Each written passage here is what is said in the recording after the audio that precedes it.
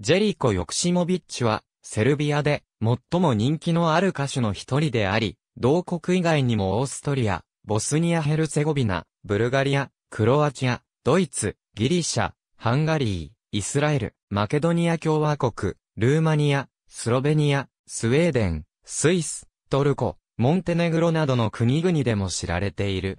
ジェリコ・ヨクシモビッチは、ユーロビジョンソングコンテスト2004に、セルビア・モンテネグロ代表として参加して、レーン・モヤイを歌い、ウクライナのルスラナに次いで、第2位となった。また、ユーロビジョンソングコンテスト2012に、セルビア代表として出場する。ジェリコ・ヨクシモビッチの最初の国際的な成功は、ヨクシモビッチが12歳の頃、パリで行われた音楽祭、 First Accordion of Europe で優勝した時に、遡る。ヨクシモビッチは、成績優秀で音楽大学を卒業し、1997年に PGP-RTS からアルバムを出して、プロとしてデビューした。1999年、ジェリコ・ヨクシモビッチは、RTV ピンクが保有する、レコード会社、シティレコーズと契約した。ヨクシモビッチの初期の頃のスタイルは、民族音楽やポップスであったが、後にスタイルを変えて、バラッドやセルビア民族音楽を制作し、演じるようになった。2004年、ジェリコ・ヨクシモビッチは、シティレコーズから、同社最大のライバルである、BK サウンドに移籍した。同じ年、ヨクシモビッチは、セルビア・モンテネグロ代表として、ユーロビジョンソングコンテストに参加し、レーン・モヤイを歌った。これは、セルビア・モンテネグロとしての同大会の初参加であった。ヨクシモビッチは準決勝を首位で通過し、決勝では、ウクライナのルスラナに次いで2位と検討した。また、同大会で、ヨクシモビッチは、最優秀作曲賞にあたる、ザ・マックル・ベゼンカン・プレス・アワードを受けた。レーン・モヤイは長期間にわたって、セルビアや欧州全域で、チャートの首位となった。2004年、ジェリコ・ヨクシモビッチは、ミナコルドプロダクションを設立し、以降は、ミナコルドで活動している。2005年、ヨクシモビッチは、ユーロビジョンのセルビアでの予選にあたる、ベオビジア参加曲を制作した。ヨクシモビッチはバラッド曲、ユートロを作曲し、イエレナ・トマシェビッチがこれを歌った。ユートロは、最高得点を上げて、ベオビジアを通過し、セルビア・モンテネグロの代表を決めるエブロペスマに進出した。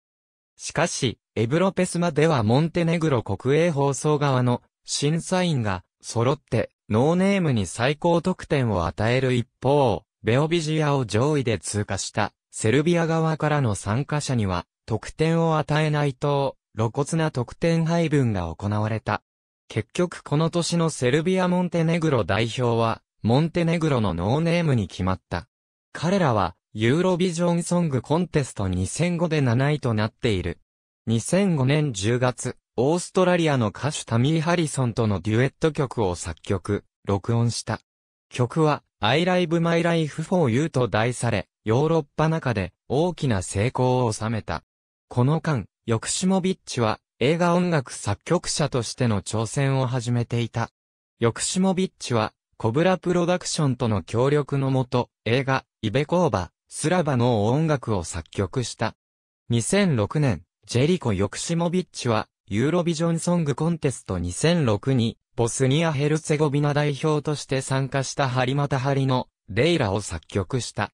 この曲は、同大会で3位となり、ユーロビジョンにおけるボスニア・ヘルツェゴビナとしては、過去最高の順位となった。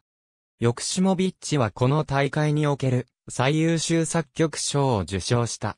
ヨクシモビッチの4枚目のアルバム、アイマネスト、ユートムストミーネチェッシュは、旧ユーゴスラビア地域全体で大ヒットとなった。このアルバムは80万枚を超える売り上げを記録した。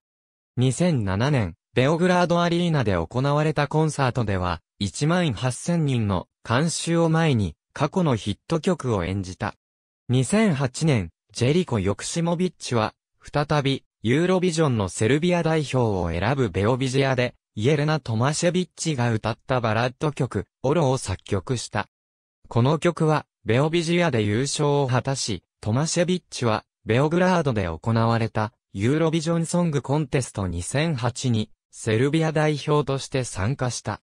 3月24日、ユーロビジョン2008を主催するセルビア国営放送は、ヨバナ・ヤンコビッチと共に、ジェリコ・ヨクシモビッチが、ユーロビジョン2008の司会を務めることを発表した。ヨクシモビッチとヤンコビッチは、この年のユーロビジョン大会の司会を務めた。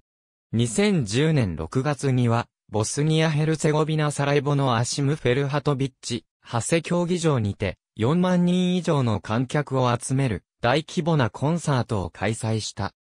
2011年11月、ユーロビジョンソングコンテスト2012のセルビア代表に選出され、2012年5月にバクーで開催される同大会に参加する。ベオグラードで行われたユーロビジョンソングコンテスト2008にて、ジェリコ・ヨクシモビッチは、ヨバナ・ヤンコビッチと共に、同大会の司会を務めた。ABCDEFG、ジェルコ・ヨーキシマビッチオフィシャルウェブサイト。2009年1月30日閲覧。ありがとうございます。